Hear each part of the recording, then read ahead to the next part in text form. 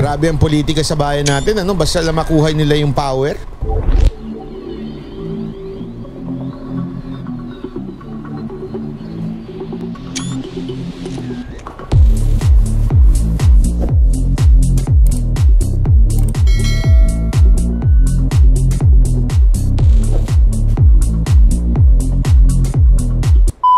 Matapos isiwalat sa Senado ng isang nagpakilalang empleyado ng Farmally na nag-deliver umano sila ng mga substandard na face shield sa gobyerno at kanilang pinalitan ng expiry dates ng mga ito, nire-repack po namin siya, tinatanggalan po namin siya ng mga certificate na expired din. Papalitan po namin siya ng bagong certificate. inilabas ng abogado ng isang opisyal ng Farmally ang video ng isang empleyado rin umano ng Farmally At doon po sa sinasabi na sa mga reject na nakarating po sa mga frontliner na daw po hindi po yun totoo. Number one, sabi ko nga eh, hindi ako kasi ako yung tao mabilis magpaniwala. Kasi ano na ito eh, it's words of the witness of Ontiveros and the words of itong, itong si ano, yung bago, bagong witness na pinresinta ni Attorney Topacio, di ba? So ako, as much as possible, I want to be in the middle. Ayokong isipin kagad na, hindi, tama ito, malito si Ontiveros, di ba? I mean, I, I'm putting myself doon sa gitna para naman eh, wala mo ng biases. Pero ito, dito mo talaga makikita kung sino yung medyo maayos at hindi. Number one, saan pinresinta? Ito sa Senado, which is public court. Ano ibig sabihin ng public court? Public opinion ang goal nila dito. Ibig sabihin, para mabuo yung mga iniisip ng tao. Ibig sabihin, hindi yan nakadepende sa katotohanan. Yan ay more or less nakadepende sa emosyon, nakadepende sa pinipresenta lang ng mga senador. Nalaman ko po siya sa warehouse. Siya po ay si BJ. Pagkaalam ko po, kaya po lumabas si B. Nabayaran po siya para siraan si Miss Mago at si Parmali. Ang alam ko po nag-offer ng pera kay BJ. Si attorney JB Kema, abogado po ni Miss Hontiveros. Ayan, si Attorney JB J.E. Bekeme. Anong Bekeme men? Bekeme. Attorney J.E. Bekeme. At ang alam ko po nagbigay ng mismong pera kay BJ ay yung new driver ni Miss Bekema.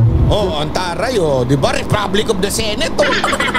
oh ang ID niya oh. Si Ryan Titazo, driver naman. Ito daw yung nag-abot ng pera. Ang nag-alok daw, di umano, sabi nung witness, ay yung attorney, yung abogado ni Ontiveros at ang nag-abot ng pera itong si Ryan Titazo, yung driver. Sa madaling salita po, itong witness daw na ito, kilala niya yung witness na di umano daw ha, di umano, na binayaran daw ni Ontiveros through her lawyer and yung driver nung lawyer. Okay? So kaibigan niya, parang kakilala niya doon sa pareho silang empleyado doon sa warehouse na yon. Eh di ba, mahalaga ho ito itong warehouse na ito kaysa yung mga expired. Siya kasi nagsabi na may expired daw.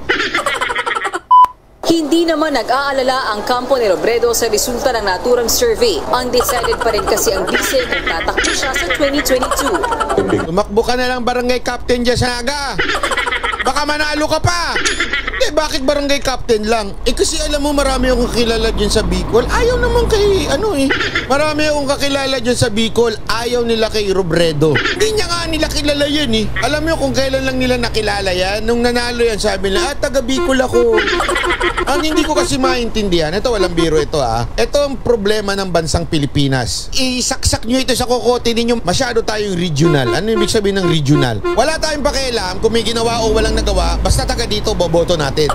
Basta kunwari, halimbawa lang naman, ha, halimbawa, oh, kunwari ikaw nakatira ka sa Iloilo, kunwari, meron tumakbong presidente na Il- ah, Ilonggo. Ay, ah, boboto ko yan, Ilonggo yan, Ilonggo, Ilonggo. Pero pag tinanong mo, anong ginawa niyan sa inyo? Ay, basta Ilonggo yan, Ilonggo. oh, di ba? Yan ang problema natin. Malaking problema ng bayan natin. Matapos magdeklarang tatakbong Pangulo, isa pang malaking desisyon ang inanunsyo ng pambansang kamao Senador Manny Pacquiao sa kanyang Facebook page. Today, I am announcing my retirement. As I hang up my boxing gloves, I would like to thank the whole world, especially the Filipino people, for supporting Manny. Sana totoo na ito, um, Senator Manny, mag-retire ka na. Hindi, ako, aside from the politics, Senator Manny, I think it's about time. Kasi, syempre, ang boxing, oh, iba ho, pag bata-bata ka, mabilis ka, pero pag medyo tumatanda-tanda ka na, medyo nababawasan na. Kung ako sa iyo, Senator Manny, talagang seryosohin mo na to. Actually, dapat bago nung lumabang ka, nandyan ka ka na eh. Kasi, di ba, alam mo yun, pagka nasa tugatok ka na ng ano, ng ah, kasikatan at lahat ng tagumpay, dun, yun na yung time para bumaba, time na para mag-ayos. Sana wag mo nang ulitin yun, ha?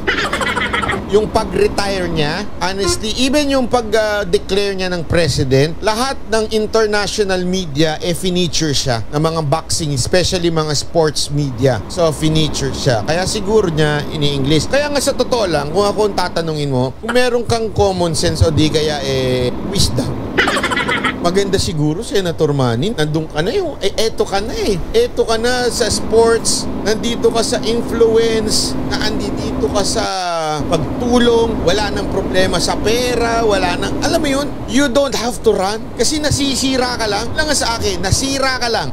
Sa loob lamang ng isang araw, sa Cebu City aabot sa 1,693 mula sa sektor ng mga kababaihan at mga habal-habal driver ang nakatanggap ng ayuda. Sa Talisay City ay nasa 1,442 na biktima ng baha ang natulungan ng pamahalaan. Nasa 3,000 pesos na financial assistance ang natanggap ng mga benepisyaryo. Ito yung mga hindi binabalita ng mainstream media. Pero siguro kung si Bongo gumawa ng kalokohan, ibabalita tayo kaliwat kanan. Pero dahil sa ito'y magandang ginagawa ni Senator Go, eh wala babalita niyan. Ganyan talaga. Wala tayong magagawa. Ganyan na talaga mainstream media. Ito lang yung sinasabi kong paulit-ulit. Habang yung Senado o yung ibang mga senador natin eh walang tigil sa paninira at banat sa presidente natin, eh itong si Senator Go wala namang tigil sa pagseserbisyo sa tao. Alam nyo, ito, seryoso ito ha. Malaking bagay ito para sa ating mga kababayan kasi itong mga nasa probinsya, honestly, ang nararamdaman yan, minsan they are left out. Parang hindi naman boto-boto kami ng presidente, hindi naman namin maramdaman. Pero this is the first time na talagang nararamdaman nila si Pangulong Duterte. Even if hindi kayang umikot ni Pangulong Duterte. Kasi remember, iikot si Pangulong Duterte, grabe ho yung protocol. Pero dahil naandyan si Senator Go, eh nararamdaman nila ngayon si Pangulong Duterte.